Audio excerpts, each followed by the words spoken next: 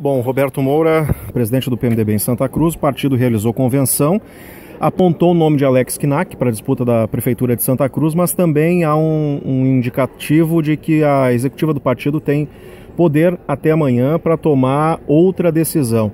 Como é que o senhor avalia o resultado da, do encontro da noite de hoje? É, com, uh, essa questão do Alex nós já tínhamos definido, né, que seria o nosso, nosso uh, candidato a, a prefeito.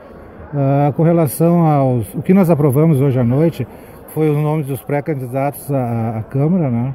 E existe sim essa possibilidade, né? Então nós vamos deixar uh, em suspenso né, nosso, nosso, a nossa reunião de hoje para ver se até amanhã nós conseguimos algumas outras negociações que estão encaminhadas. Ou seja, o PMDB pode ter Alex Knack como candidato a prefeito, pode ter Alex Knack como candidato a vice ou pode não fazer parte de uma composição majoritária? Tudo é possível, né? Amanhã nós temos que definir algumas coisas que não conseguimos definir durante o dia de hoje.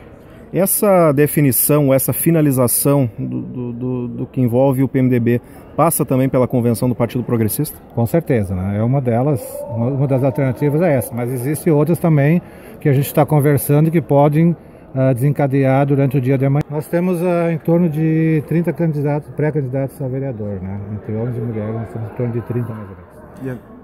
Agora, agora, se falava sempre, na presidente, da dificuldade de, de, organizar a campanha, principalmente a parte financeira.